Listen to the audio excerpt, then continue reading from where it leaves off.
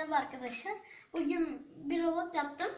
Aya saçılan modülleri bulmamıza bulmamız bize yardım edecek.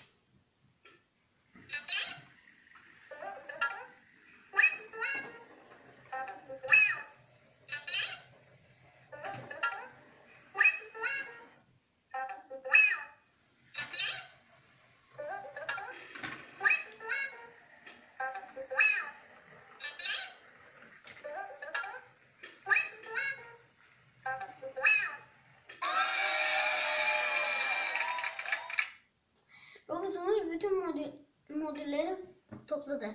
Bakalım onları birleştirince modüllerin sonunda işte uzay üstümüzün kapısında bulduk. Bir sonraki videomuzda görüşürüz.